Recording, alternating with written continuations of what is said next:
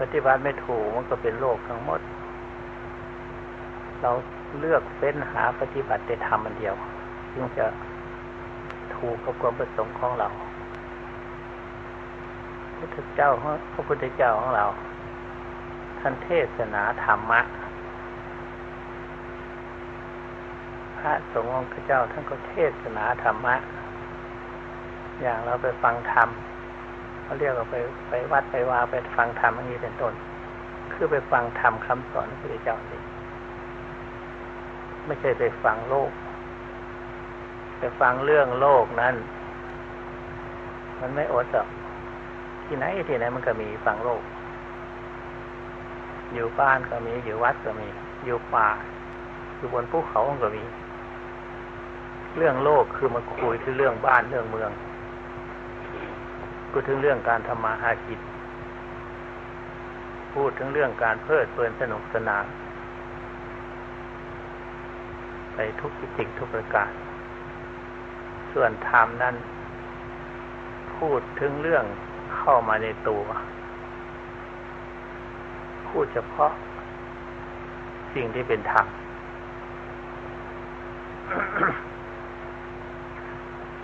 ท้ที่จริงก่อน โลกกับธรรมก็เดียวกันนั่นแหละอย่างที่ท่านว่าโลกกับธรรมเรียกว่าธรรมของโลกฟังอะไรฟังก็ชอบกดอยู่ ฟังยากๆอยู่เหมือนกันนั่นแหละ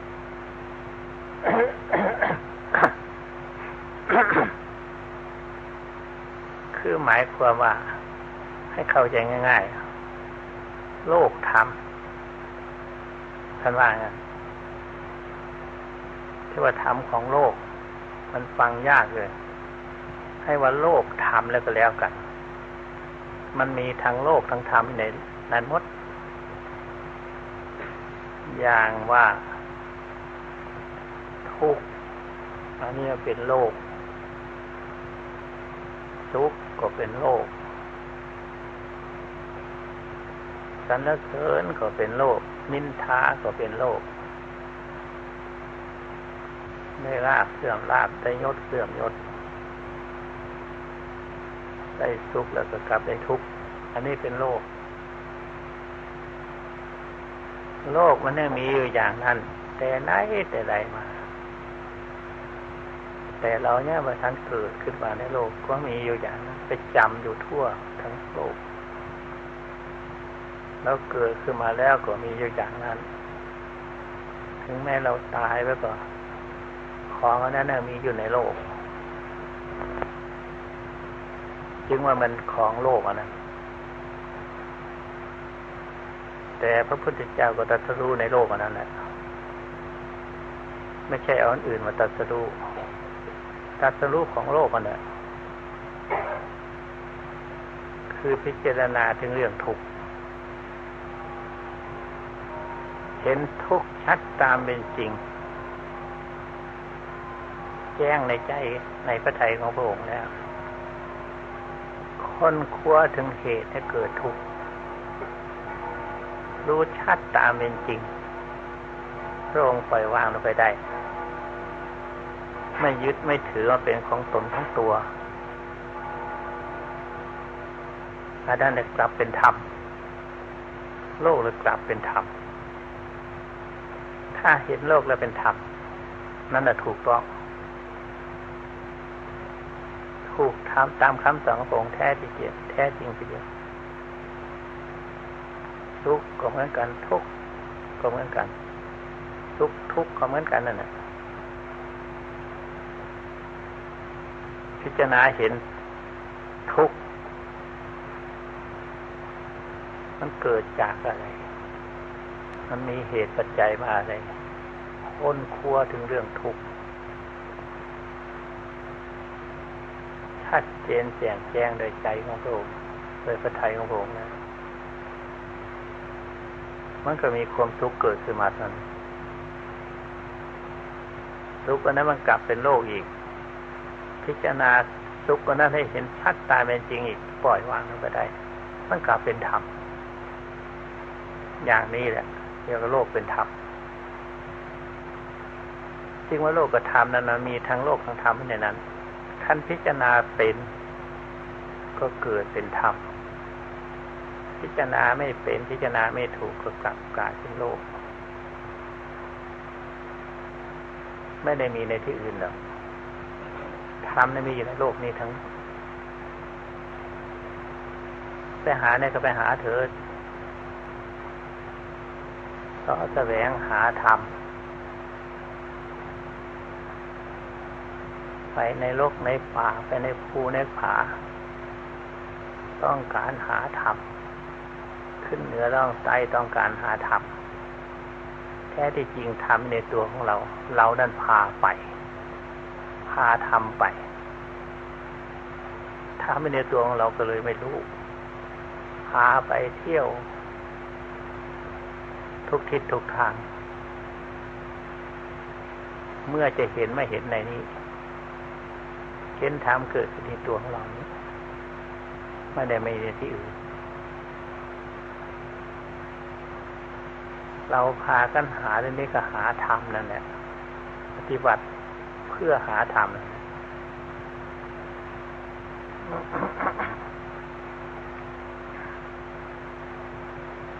เราปฏิบัติทุกวันนี้เลือกธรรมเฟ้นหาธรร มมันปะปนกันอยู่ในนี้หมด ตัวของเราย่อม ประกอบไปได้ด้วยสิ่งต่างๆ ทั้งภายนอกและภายใน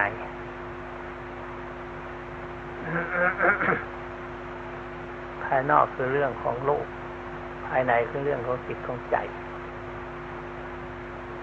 นั่นเองมากอยู่ภายในมากกว่าอยู่ภายนอกซะอีก ที่ว่าโลกมันกว้างเลยที่โลกมากกว่านั้น ที่โลกมันมากๆกว่านั้นทั้งของภายนอกยังนับทั่วถึงเลยภายในนี่นับไม่ทั่วถึงเลย ที่ยิบทีเดียวในตัวของเรา ไม่ทราบว่าโลกหรือธรรมจึงให้หาตัวของเราดีแหละ หาที่ในตัวของเรานี่แหละ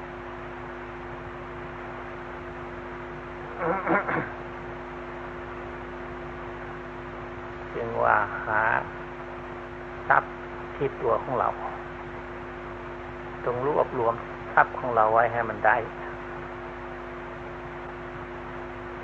อย่างพระเวทท่านดอนท่านตัดกับตางวสีว่าน้องเอ๋ยจงหาจงเลือกรีบรวมทรัพย์อันที่มีในตัวของเราเถอะรีบรวมทรัพย์ที่มีค่าเสีย ทรัพย์มีค่าคืออะไรในตัวของเรา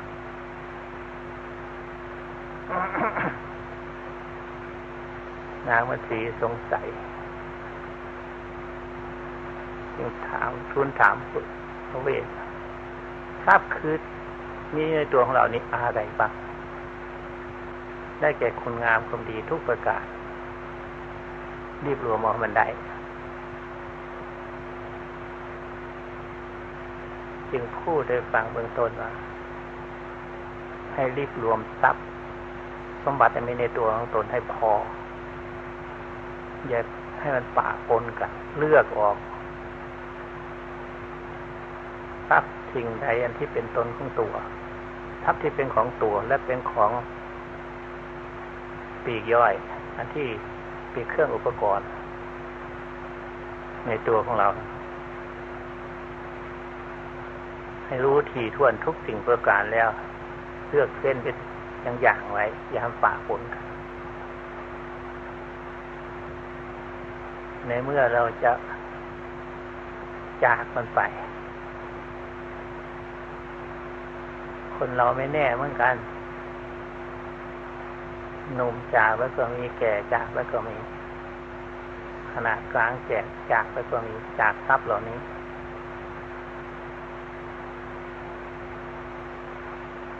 แต่ว่าคนเราประมาทจนแก่เท่าชราก็ไม่สามารถที่จะเลือกเส้นทรัพย์ของตนไว้ ถ้าเป็นสิทธิ์เป็นส่วนใดปาคนคนก็ไปหมด หากว่าเราละโลกนี้ไปสู่โลกข้างหน้า ไม่ละไม่เลือกเฟ้นไว้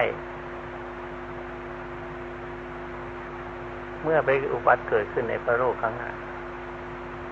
จะขี้ออกไปมันก็จะมีหมดทุกสิ่งทุกอย่างที่เราไม่ทราบจะเอาอะไรมาเป็นสาระของตัว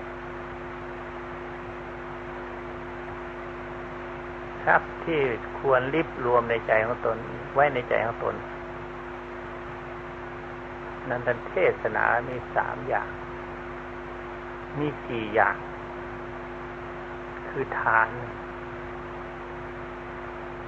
คือศีลหนึ่งสมาธิปัญญา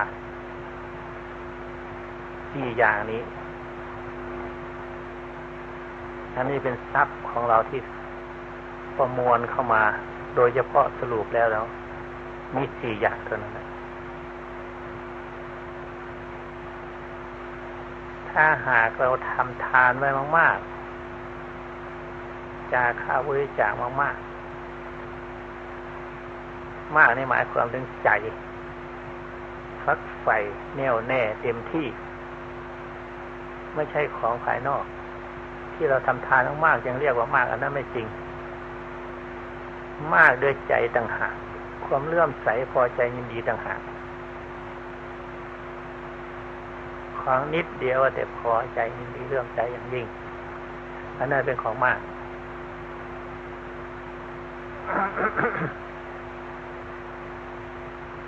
เราสะสมไม่มากๆอันนั้นแล้วอุ่นใจ กับทรัพย์ของเรา ใครจะว่าให้จะว่าไปเถอะอุดใจพอใจเต็มใจกับทรัพย์อันนั้นเป็นของมั่นคงแน่นอนทีเดียว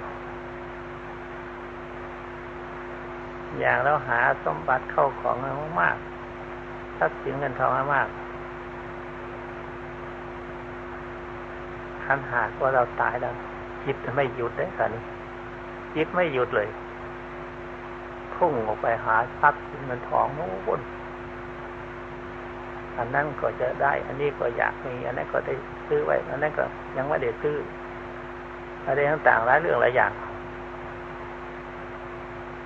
มันไม่อยู่คันทรัพย์ที่เรา ทำทานแล้วสะสมไว้มาก ๆ ในตัวของตนพอแล้ว อิ่มแล้วไม่คิดอยากจะซื้อนั่นซื้อนี่ไม่คิดอยากจะสร้างนั่นสร้างนี้ไม่คิดอยากจะลงทุนอย่างนั้นนี้ไม่คิดเลย ความอิ่มใจพอใจแน่วแน่ในใจของตนอันนั้นเรียกว่าเก็บทรัพย์ไปการทำทาน ครบบริบูรณ์ทุกสิ่งทุกประการในนั้นหมด ไม่อยากได้อันนี้ทรัพย์ที่เราสะสมมาได้แล้ว อุ่นใจแล้ว ไปไหนก็ไปเถอะครับยิ่งตื้นเต็มตื้นในใจของตนอยู่ตลอดเวลา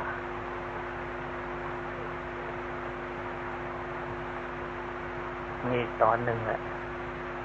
ราบของหนึ่งแล้วเอาเร็วเก็บไว้รูปรวมไว้ การรักษาศีลชาวิรติงดเว้น จากโทษนั้น เราเชื่อกรรมเชื่อผลของกรรมว่าเราละบาปกรรมนั้นนั้นเป็นบุญเป็นกุศลเชื่อกรรมของตนของตนอย่างนี้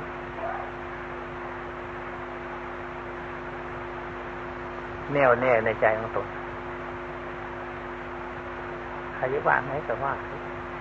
อิ่มใจนั่นเองที่เรางดเว้นจากขาดตัดรักษาปกติในชาจารย์กาโกหกมุสาวาเดิมสุราเวลาอะไรต่างแต่ละคอละคออิ่มเลยอิ่มอะไรไม่เท่าอิ่มอันนี้หรอก การมีศีลครบบริบูรณ์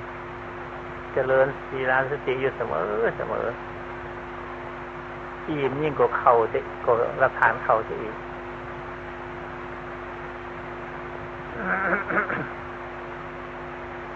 รับทานเข้ายังมีหิว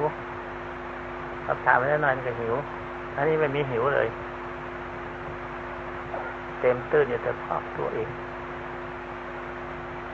นอกจากนั้นยังแสดงออกมาผิวพรรณภายหน้าภายนอก คนที่มีศีลสมบูรณ์บริบูรณ์ทุกประการสีหน้าก็ผ่องใสสะอาดยิ้มแย้มแจ่มใสทุกประการเพิดเพลินเจิญใจในตัวของตนอยู่ตลอดเวลา คือเชื่อว่าจิต เรารักษาได้ทุกข้อ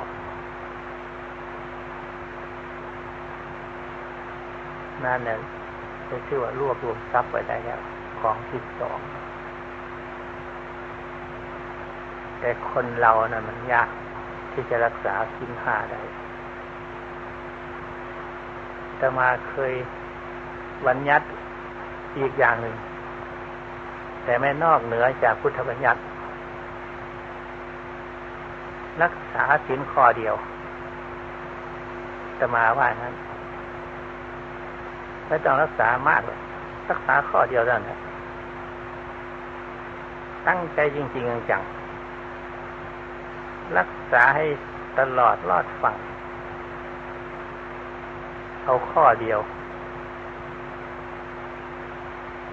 สามเดือนหรือหกเดือน หรือปีหนึ่ง ให้ได้ตลอดเวลา เอาข้อเดียวกัน สมมติว่าปีหนึ่งได้สิทธิ์ข้อหนึ่งเอาละปีที่สองก็รักษาอีกข้อที่สองชาชินนา ปีที่ที่ไอปีที่สามรักษาอีกข้อหนึ่ง ปีที่สี่ที่ห้าก็ครบบริบูรณ์เลยสิทาห้าปีได้สินห้าข้อเอาแล้วป่านนะดีแล้ว ดีกว่าที่เราจะไปสมทานศีลบ่อยๆหรือไปสมาศีลสมาทานศีลทุกวันพระแต่ศีลไม่ติดตัวไปถึงไปบ้านหายหมด หรือออกจากเขตวัดแล้วหายกลับคืนมาของเก่า ถ้าเป็นคนรักษาศีลไว้ให้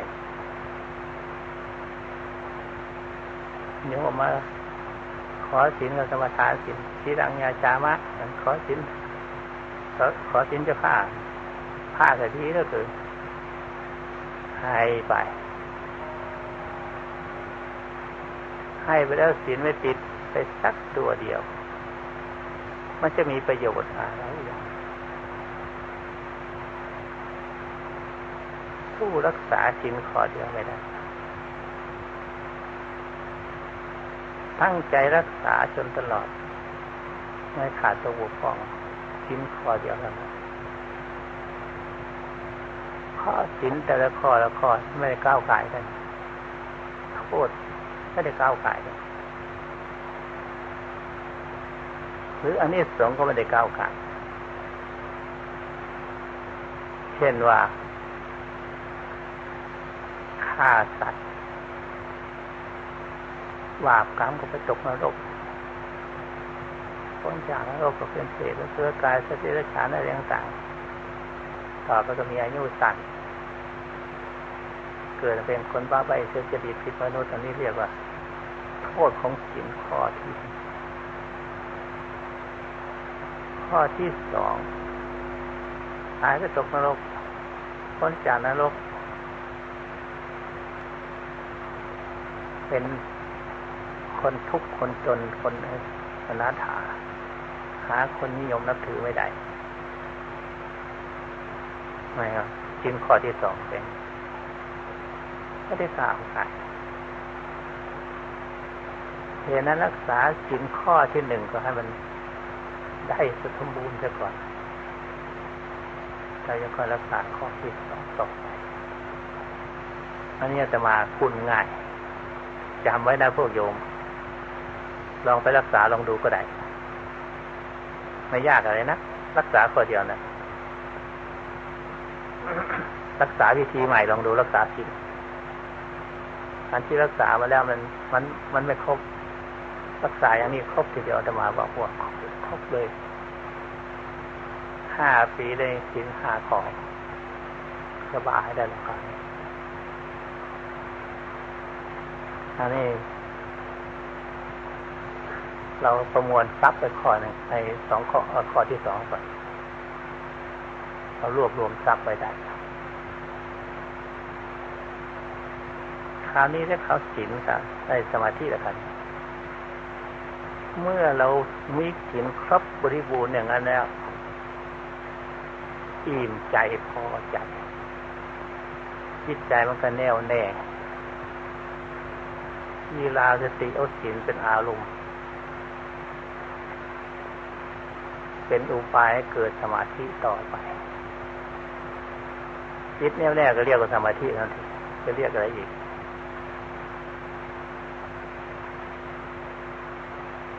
จิตไม่แน่วแน่พวักวนห่วงใยกังวลเกี่ยวข้องหรือ เป็นโทษคำของตน เดือดร้อนวุ่นวายตลอดเวลามันจะเป็นศีลได้อย่างไร บางคนเขาบอกว่าศีลไม่ต้องรักษาทำสมาธิทีเดียวหรือสมาธิก็ไม่ต้องรักษาแล้วเอาตัวปัญญาเดียว ทีเดียวเลย โอ้โหไฟใหญ่ทีเดียว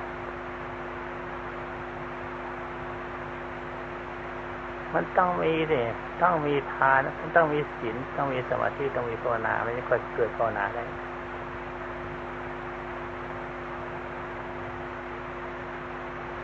ทานก็เป็นอุปกรณ์ของสมาธิได้เหมือนกันทานแล้วเกิดความแน่วแน่ในจิตของตน เชื่อมั่นในจิตของตน มันไม่วอกแวกไปไหน มันเป็นสมาธิได้เหมือนกันศีลก็ยิ่งแล้ว มันจิตแน่วแน่ใสสะอาด ของใสบริสุทธิ์แล้วก็เป็นสมาธิในตัว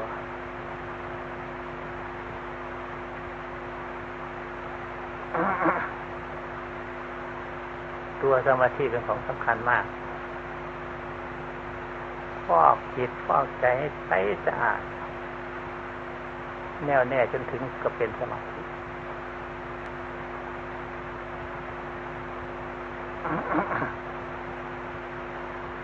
สมาธินั้นทุกคนฝึกหัดในพุทธศาสนานี้ต้องฝึกหัดสมาธิ จึงถึงพระพุทธธรรมประสงค์จิตไม่แน่แน่จะถึงได้อย่างไรถึงพระพุทธธรรมประสงค์จิตมันต้องแน่วแน่ก่อนสิ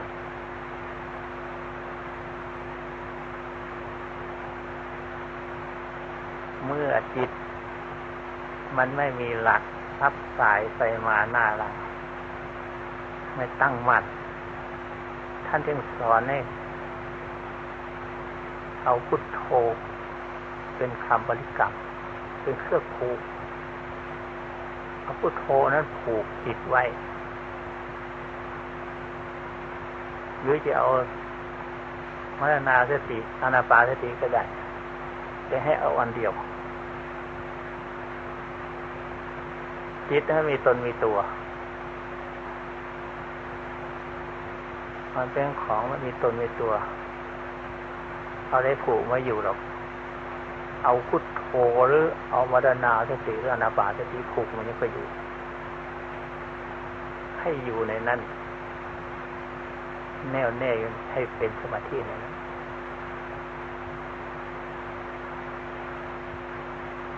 เหตุนั้นยังว่า ไม่ต้องหัดสมาธิเอาแต่ปัญญาทีเดียวโอ้โหมันไกลกันแสนไกลปัญญาอะไรที่มันจะเกิดขึ้น มันไม่มี ลองคิดดูสิ คนเรา จิตใจว่อนอยู่จะไปเกิดปัญญาได้ มันมีแต่สัญญาทั้งนั้นเนี่ยมันไม่อยู่รู้มันพูดวายอยู่นั้นเรียกว่าสัญญาทั้งหมดปัญญามันเกิดจากสมาธิอย่างเดียวกับปัญญาพุทธศาสนาเอา เอา พุทโธหรือเอานาปาสติเป็นอารมณ์จิตจึงเคยอยู่ อันนี้จะเป็นที่รวบรวมมัดให้แน่นทีเดียวสมาธิศีลก็ดีทานก็ดียังไม่ทันแน่นสมาธิแน่นแฟนเลยไปไปไหนอยู่ในอันเดียวแน่วแน่อันเดียว อันนั้นเรียกว่า เรารวบรวมมัดไว้ เรารวมไว้กองกองที่สาม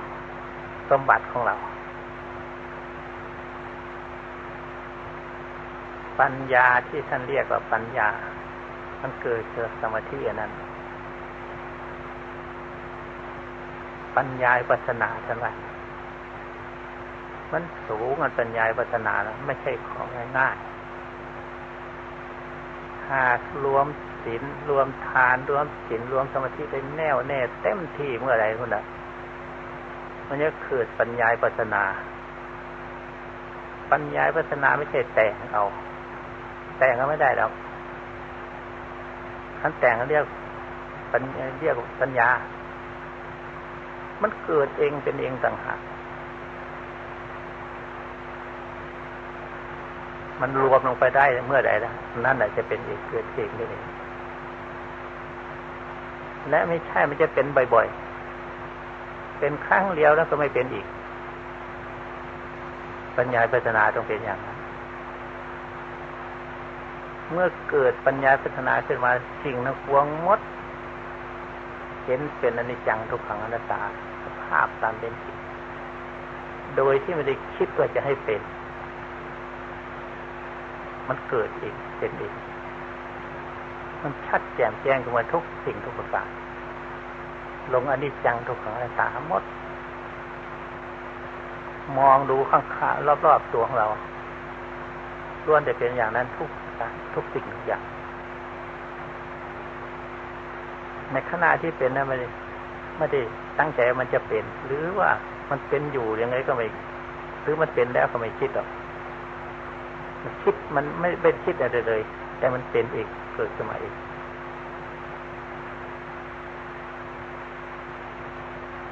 ความเป็นจริงมันเป็นอย่างนั้น พระเจ้าพระสงฆ์เราทุกวันนี้เจริญนิพพานาเจริญได้อย่างไงสมาธิก็ยังไม่เป็น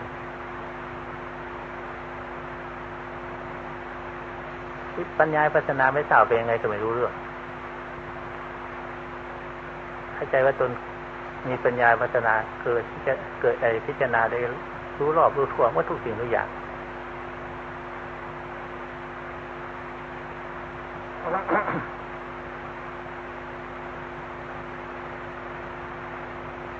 มันยากที่จะรู้เรื่องของปัญญายากเหลือเกิน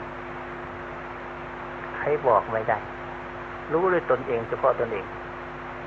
ใครไปบอกกันไม่ได้หรอก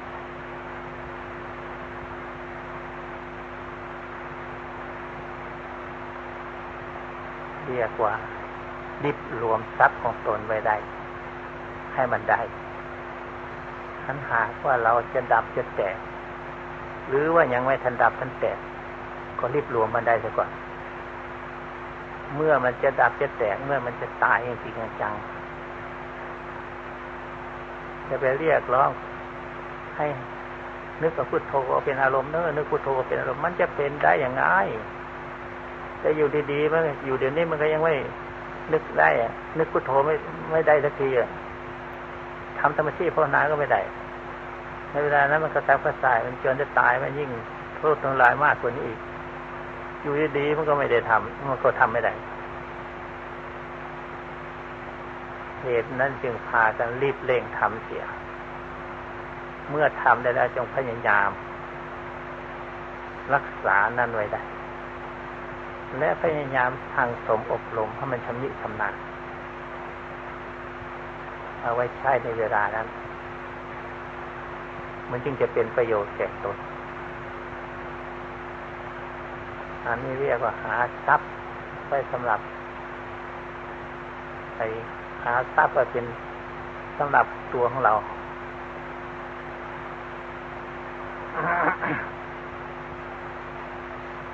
เอาละเท่านั้นแหละเอาจงตั้งจิตให้มันดีคำว่าตั้งจิตในที่นี้น่ะ หมายความว่าตั้งให้มันหมัด พอมันล้มเรียกว่าไม่ตั้งของมันมันตั้งอยู่จึงเรียกว่าตั้ง ตั้งให้มันคงตั้งให้มันแน่วแน่ ตั้งให้มันคงที่ เอาอันเดียวเป็นเอาพุทโธเป็นอารมณ์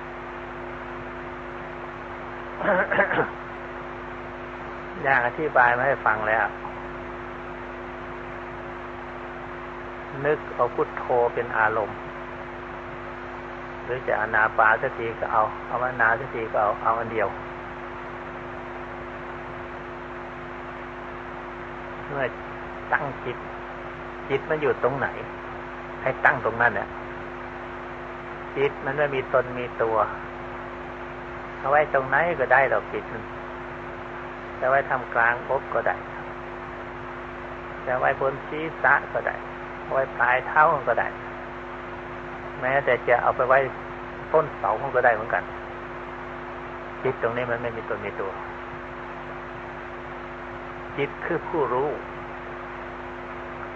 มันรู้ตรงไหนไว้ตรงนั้นเนี่ย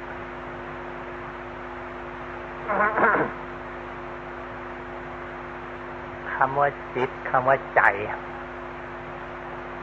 มันคล้องแปลกเหมือนกันนะคล้องกันนี่มันเรียกควบกันไปว่าจิตว่าใจ แต่แท้ที่จริงอะ เรียกสองชื่อมันก็มีสองอย่าง จิตคือผู้คิดผู้นึกผู้ปรุงผู้แต่งสัญญาลมต่างๆ อันนั้นเรียกว่าจิต ใจคือผู้รู้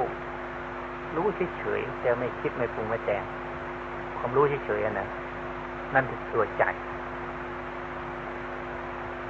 เดี๋ยวนี้เราฝึกหัดจิตมันไม่ต้องฝึกหัดใจ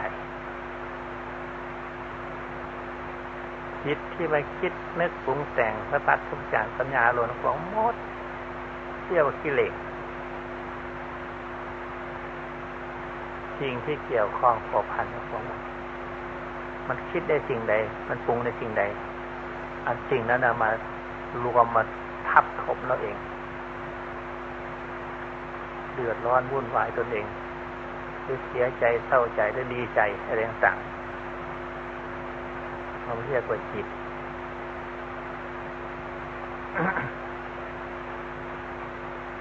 คนเราโดยส่วนมากเรียกว่าจิต ถามว่าจิตอะไร จิตอยู่ไหนอะถามว่าจิตว่าพูดถึงเรื่องใจอีกด้วย ใจคือตัวกลาง ใจคือของกลางกลางไม่คิดไม่นึกไม่ปรุงไม่แต่งกลางกลางเลยอันนั้นในตัวใจ ลืมคิดถึงจิตคราวนี้พูดถึงเรื่องใจเลยเลยไม่ไม่คิดถึงเรื่องจิต ใจนี่มันใช่ได้ทั่วไป ใจมือใจเท้าใจอะไรต่างๆของกลางเรียกใจหมด แม้แต่ใจคนก็ชี้เข้ามาทำกลางหน้าอกเลย จะแท้จริงมาอยู่ตรงนั้นมันอยู่ไหนอยู่หมดอยู่ได้ทั่วหมดนั่น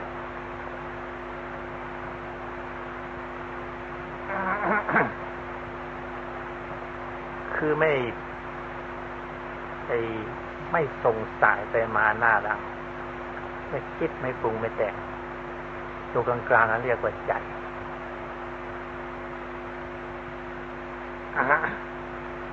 จิตอันใดใจนั้นพระพุทธเจ้าท่านก็เทศนาเหมือนกันนะใจอันใดจิตอันนั้นจิตอันใดใจนั้นท่านพูดเหมือนกันนะอาการมันเป็นอาการแต่ลักษณะ อาการจิตมันคิดมันนึก อาการใจมันเฉยเฉย แต่ผู้เดียวกันนั่นที่จริงเราจะพูดให้ฟังต่อไป คือว่า คิดนึกปรุงแต่งสารพัดทุกอย่างสัญญาลมเกี่ยวข้องกับมันทุกประการ ถ้าหากเราเพิกถอนนั้นออกไปหมดเนี่ยมันยังเหลือแต่ใจกันติดกันนี่นะมันกลับมาเป็นใจอย่างนั้นจะไปคิด แต่ก่อนที่จะเพิกถอนออกไปได้มันต้องเห็นใจซะก่อน คือผู้กลางกลางซะก่อนทำยังไงจะเห็นใจเขาอย่างนี้เอาง่ายๆทุกคนนะเอาลองคิดลองลองทำลองดูนะกลั้นลมหายใจสักพักหนึ่งกลั้นลมหายใจเลย มันมีอะไรในที่นั้น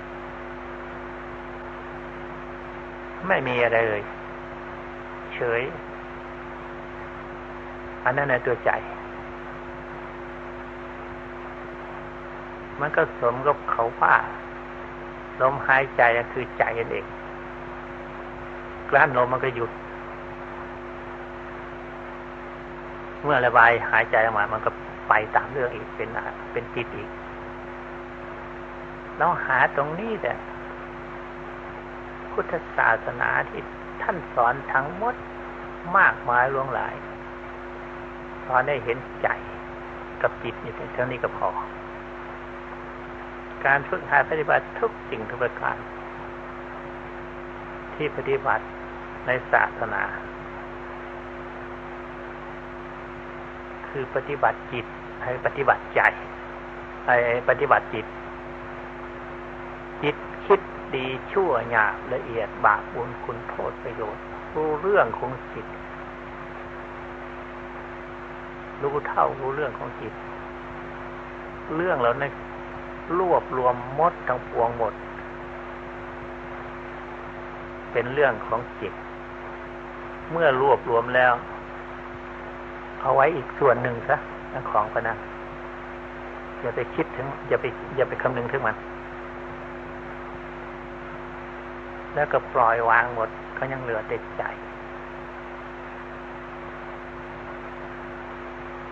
การการที่ยังเหลือเด็ดใจนะถึงแกนของพุทธศาสนาแล้วเราปฏิบัติปฏิบัติเท่านี้แหละไม่ไม่ปฏิบัติมากมายครับ แกนแท้ของพุทธศาสนาลงที่ใจอย่างเดียว ถ้าจะสำเร็จมรรคผลนิพพานก็ลงที่ใจอันเดียวนี่ยใจไม่มีอารมณ์ใจไม่เกี่ยวข้องกับปันอะไรทั้งหมด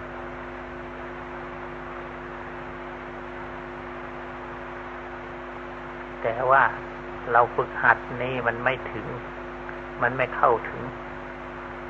อันพูดในฟังนี้เป็นแต่อนุมานพอเป็นเครื่องกำหนดพิจารณารู้ แต่เวลาลงจริงๆจังๆแล้ว มันรวมลงไปในที่เดียวหมด เหมือนกับคุยภาคษา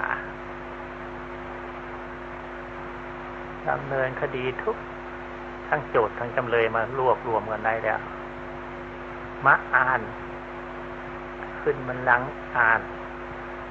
คำวิพากษาอยู่ในที่เดียว ไม่ต้องไปหาเที่ยว สืบสวนนั่นนี่แล้วคงในที่เดียวเลย ถ้าไม่เช่นนั้นแล้ว มันก็ยุ่งเลยที่ไหนมันจะแล้วแล้วทั่วกันสักทีลงที่เดียวมันยังก็หมดเรื่อง